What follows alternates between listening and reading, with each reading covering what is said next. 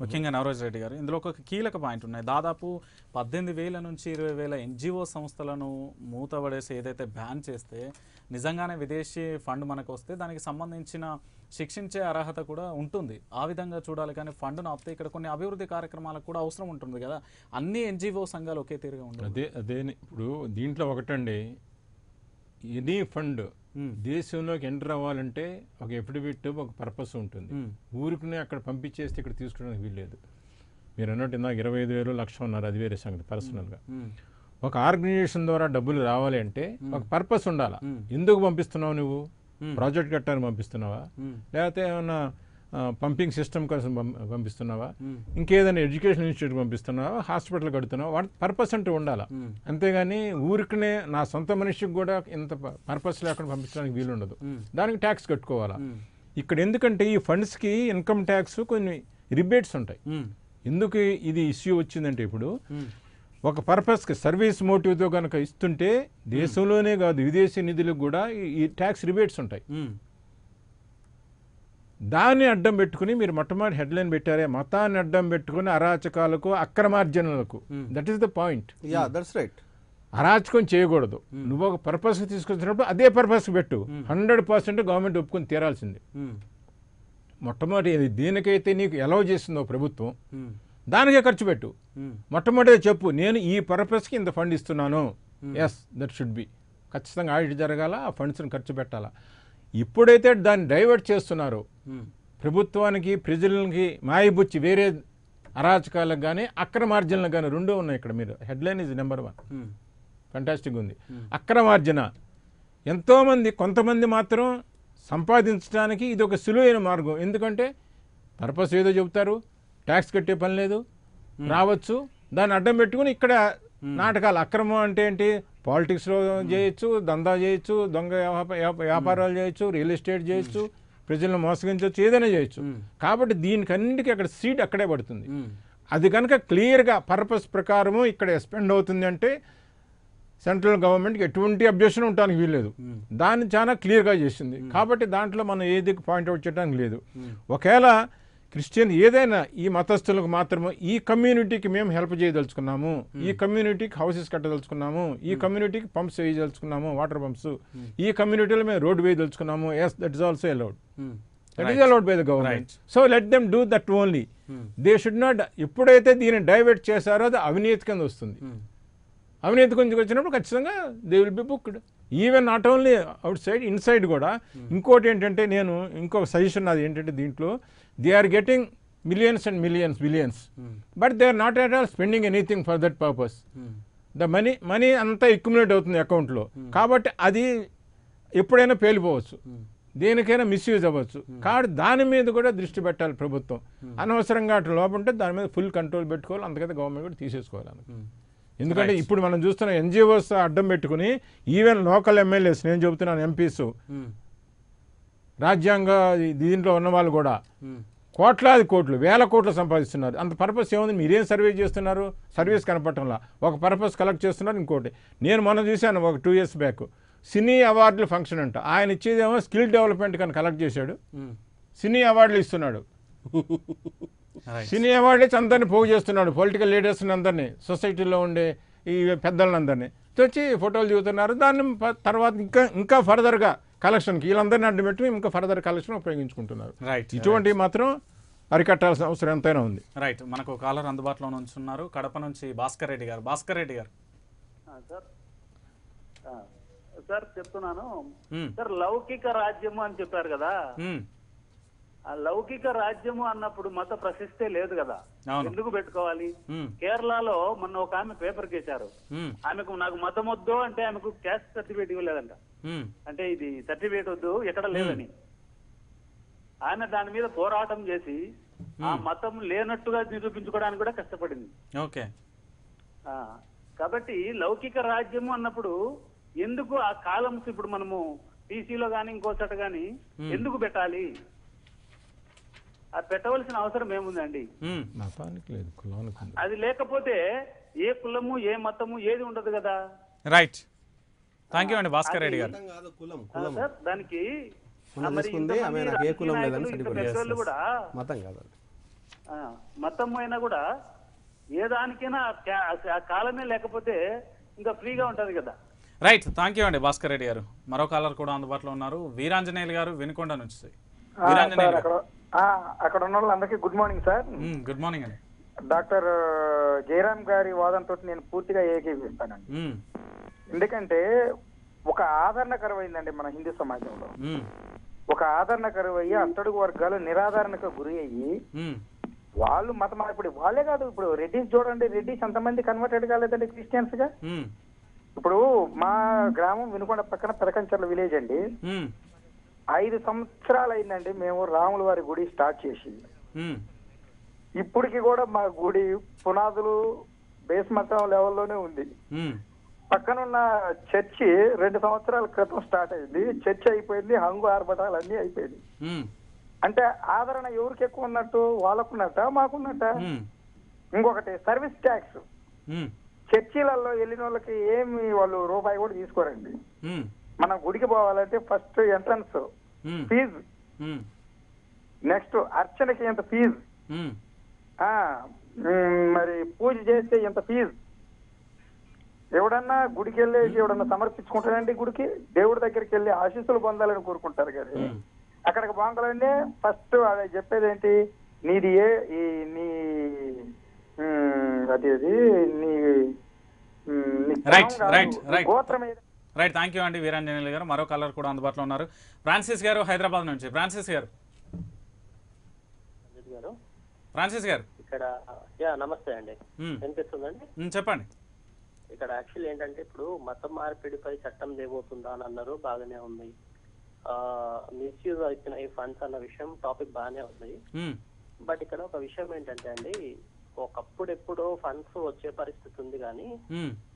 ఇప్పుడు ఫండ్స్ వచ్చేదాన్ని ఆపేస్తే ఏదో ఇక్కడ ఇండియాలో ఫండ్ అయిపోవడం వల్ల ఏదో నష్టపోతారు అనుకోవడానికి ఏం లేదు ఎందుకంటే ఇప్పుడు ఎక్కడి నుంచి ఫండ్ వచ్చే పరిస్థితిలో లేదు. అమెరికాలో కూడా పెద్ద డబ్బేం లేదు ఇక్కడ పంపించడానికి. రెండో విషయం ఏంటంటే. మత మార్పిడి చట్టం అనేది తీసుకొచ్చింది ఆల్రెడీ ఒక దగ్గర నో కన్వర్షన్ బిల్ తీసుకొచ్చింది ఒరిస్సాలో జరిగింది ఆల్రెడీ ఓకే అప్పుడు పాయింట్ త్రీ పర్సెంట్ ఉన్న ఒక fifteen ten fifteen years back. Graham Staines అనే వ్యక్తిని కాల్చడం కూడా జరిగింది ఒక సోషల్ వర్కర్ అక్కడ. సో ఆయన కుష్ఠరోగుల మధ్యలో సేవ చేసేవాడు ఆయన.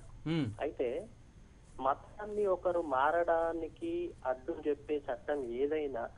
వారి యొక్క స్వేచ్ఛను ఏదైతే ఉందో అది భంగం కలిగించినట్టే. అయితే minus point two three percent ఉన్న ఒరిస్సాలో ఉన్న Christianity time fifteen years back. ఇప్పుడు almost officially almost ten to fifteen percent వరకు వచ్చింది.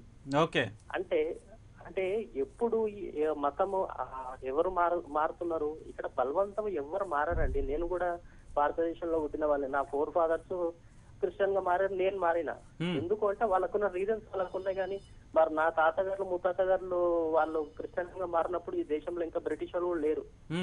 అంటే నాది ఫోర్త్ జనరేషన్ చెప్తున్నాను నేను. సో ఇక్కడ మతం ఒకరు మారుతున్నారు అంటే వారికి నచ్చినది మారుతారు. అంతేగాని ఒకరు బలవంతంగా మారుతా అంటే ఇప్పుడు మీరు వచ్చి నాకు ఒక వంద కోట్లు ఇస్తా అంటే నేను హిందూజంలోకి మారుతానా? మ్మ్. ముస్లింలోకి మారుతానా? మారను.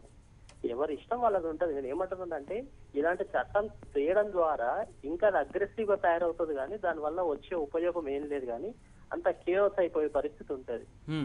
సో ఫండింగ్ విషయంలో ఏదైతే అంటున్నారో దాంట్లో మీరు అన్నట్లు ఏదన్నా వేరే ఇల్లీగల్ యాక్టివిటీస్కి ఏమైనా ట్రాన్స్ఫర్ అవుతున్నాయో వాటి వాటి విషయంలో తప్పకుండా యాక్షన్ తీసుకోవడంలో ఎటువంటి అభ్యంతరం లేదు ఎవరికి. కానీ బలవంతంగా ఏదో మత మార్పిడి చట్టం తీసుకొచ్చి ఇంకా ఎవరు ఏ మతానికి మారద్దు ఈ దేశము ఈ భారతదేశం ఒక మతానికి సంబంధించింది ఉండాలంటే that is absolutely hundred percent wrong అది. ఎందుకు అంటే ఒరిస్సానే మీరు ఎగ్జాంపుల్గా మీరు తీసుకోండి మీరు తర్వాత రీసెర్చ్ చేయండి ఆఫ్టర్ దిస్ డిబేట్ ఇప్పుడున్న పర్సంటేజ్ ఏంటి క్రిస్టియానిటీ ఒకప్పుడున్న పర్సంటేజ్ ఏంటి క్రిస్టియానిటీ నేను. చెప్తున్నాను Hmm. అన్అఫిషియల్గా భారతదేశంలో ఇప్పటికి దాదాపు ముప్పై కోట్ల క్రిస్టియన్స్ ఉన్నారండి. అన్అఫిషియల్గా అఫీషియల్గా ఏంటి అంటే డిసిసి ఎవరైతే క్రైస్ట్ క్రిస్టియన్గా మారారో. వాళ్ళు ఎస్సీ నుంచి మారిన వాళ్ళని మాత్రమే బీసీసీ లోకి కన్వర్ట్ చేస్తున్నారు సర్టిఫికెట్. ఇప్పుడు ఏదైతే భారతదేశ లెక్కల ప్రకారము. మూడు శాతం క్రిస్టియన్స్ ఉన్నారు అంటున్నారో అది only people who are having a BCC certificate Christian certificate.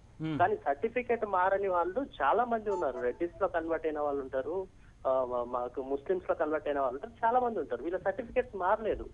So ఇది వ్యక్తిగతంగా ఎవరి మతాన్ని వాళ్ళు స్వేచ్ఛగా ఎవరు వాళ్ళకి ఇష్టం వచ్చిన మతాన్ని స్వీకరించే హక్కు భారతదేశంలో అందరికీ ఉంది. దీన్ని అడ్డుకోవడానికి నరేంద్ర మోడీ గారికి హక్కు లేదు అమిత్ అమిత్ షా గారికి హక్కు లేదు. వాళ్ళు ఒకవేళ ఏదన్నా బలవంతంగా చేసినా దాని వల్ల దెబ్బతినేది వాళ్ళ పార్టీయే కానీ. రైట్ థ్యాంక్ యూ అండి ఫ్రాన్సిస్ గారు. ముఖ్యంగా చూడొచ్చు జయరామ్ గారు. ఏదైతే నిజానికి ఎన్జిఓలు దాదాపు మావోయిస్టులకు కానీ మత మార్పిలకు కానీ లేకపోతే భారతదేశ వ్యతిరేక సాహిత్యం రాసే దేశద్రోహులు కానీ ప్రోత్సహిస్తున్నాయి వారికి ఆర్థికంగా సహాయం అందిస్తున్నాయి. అందుకోసమే ఎన్జిఓలను సంబంధించి ఇంత కఠిన చట్టాలు తేవడ్డాయి అనేది కేంద్రం వారు. ఒక మీకు ఒక క్లియర్ వర్డ్ చెప్తాను. మ్మ్. ఈ మతం మార్పిడులు మతం పేరు డబ్బులు తెచ్చుకుంటే దొంగలు. మ్మ్. ఈ దొంగలు తీసుకుపోయి మావోయిస్టులో డబ్బులు ఇస్తారంటే అది ఇంకా పెద్ద. వీళ్ళే వీళ్ళే దోసుకోవడానికే సరిపోదు. ఇక వాళ్ళకే తీసుకుపోయి ఇస్తారు ఇంకా వాళ్ళ దగ్గర ఏమైనా ఉంటే కూడా వాళ్ళకు కూడా మార్చి అక్కడి నుంచి డబ్బులు తెచ్చుకుంటారు బ్యాచ్ ఇది ఇది ఇది కాదు. ఎప్పుడు కూడా బీజేపీకి ఒక విజన్ ఏముంటుందంటే ఈ దీన్ని కంట్రోల్ చేయకపోవడం వల్ల ఎప్పుడు కంట్రోల్ చేస్తాం మనము? ఇప్పుడు ఒకే దేశం అన్నది. ఒకే భాష అన్నది. రేపు ఒకే దేవుడు అంటారా? మరి భారతదేశంలో ఒకే దేవుడు లేడు కదా ముక్కోటి దేవతలు ఉన్నారు కదా. మరి ఆ ముక్కోటి దేవతలు ఏ దేవుడిని అంటాం నాత దేవుడిని అందామా? సౌత్ తెలంగాణ అందామా? ఉత్తర తెలంగాణ చెప్పదామా? లేకపోతే కాశ్మీర్ దేవుడు అందామా? కన్యాకుమారి దేవుడు ఏ దేవుడు అందాం? అంటే ఇది ఒక రాజకీయ అంశంగా చేస్తే సక్సెస్ కాదు.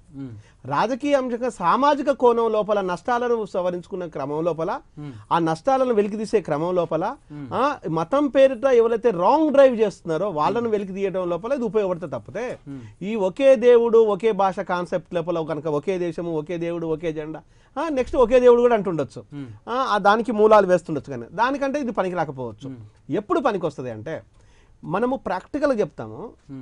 ఈ మనీ ఏదైతే ఉంటుందో మనీ ఎప్పుడు కూడా కొన్ని మన దగ్గర ఉన్న టాటా బిర్లా రిలయన్స్ ఇలాంటి గ్రూపులు వాళ్ళ కొంత చారిటీ ఉంటుంది. ఓకే. మనకు తెలియని చారిటీ వాళ్ళు చేయాలనుకున్న చారిటీ కొంత చారిటీ ఉంటుంది. వీళ్ళకు ఉండే ఇన్కమ్ని ఆ చారిటీకి డైవర్ట్ చేస్తారు. ఆ డైవర్ట్ చేసి దాంతో కొన్ని హాస్పిటల్ ఇప్పుడు టాటా ఉంది టాటా క్యాన్సర్ హాస్పిటల్ ఉంది.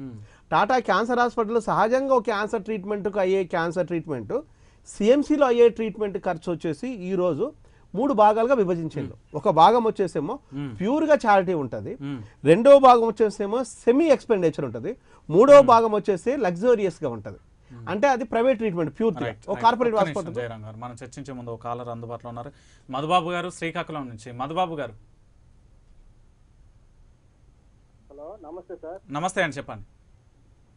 ఆ, సార్ ఒక విషయం అండి. ఇప్పుడు ఇక్కడ మన ఆంధ్ర రాష్ట్రంలో కానీ మన భారతదేశంలో కానీ.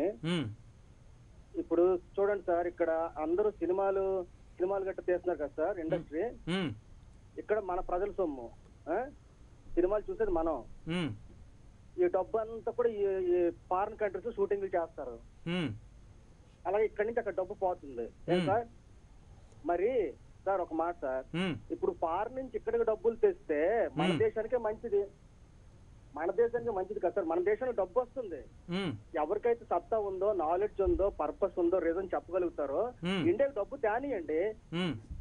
ఇక్కడ ఇండియాలో ప్రజల దగ్గర డబ్బులు కలెక్ట్ చేసి ఫిల్మ్ ఇండస్ట్రీ కానీ పాలిటిక్స్ కానీ ఎవరైనా కానివ్వండి. ఇక్కడ డబ్బు సంపాదించి ఫారిన్ బ్యాంకులో దాచుకుంటున్నారు Hmm. ఫారిన్ ఏరియాస్కి వెళ్ళిపోయి షూటింగ్లు చేసి డబ్బు ఖర్చు పెడుతున్నారు? మరి అదంతా తప్పు కదా సార్ ఇప్పుడు నేనే ఉన్నాను సార్ ఎగ్జాంపుల్ అనుకుందాం నేను ఒక సామాన్యుడిని నేను ఒక ఆటో డ్రైవర్ని. ఏం సార్ ఇప్పుడు ఎవరో మీలాంటి వాళ్ళు ఎవరో డబ్బులు తెచ్చుకున్నారు. తెచ్చుకోవడం వల్ల పది మందికి ఏదో ఒక రీతిలో మీ ఇంట్లో పని పనులు గానో ఏదో ఒక ఎంప్లాయ్మెంట్ ఇస్తారు కదా సార్ మాకు. ఏదో ఒక ఎంప్లాయ్మెంట్ ఇస్తారు కదా ఎవరికో పది మందికైనా. మీరు ధనికులు అవ్వడం వల్ల. అందరూ ధనికులు అయిపోలేరు కదా సార్. మన దేశం పేద దేశం. పేదరికంతో ఎక్కువ బాధపడుతున్నాం మనం. బిలో పావర్టీ లైన్ కింద ఉన్న వాళ్ళు ఎక్కువ మంది? ఎవరో ఒక వ్యక్తి సామర్థ్యం ఉండి మోసం అనుకోండి ఏదో అనుకోండి సార్.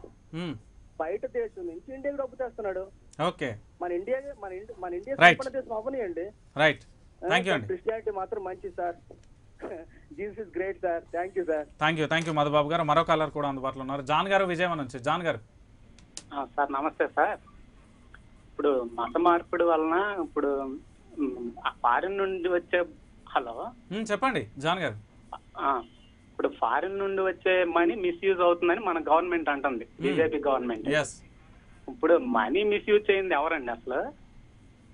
వాళ్ళు ఎవరో పంపే మనీ మిస్యూజ్ అవుతుందని వీళ్ళు ఇక్కడ చెప్తున్నారు.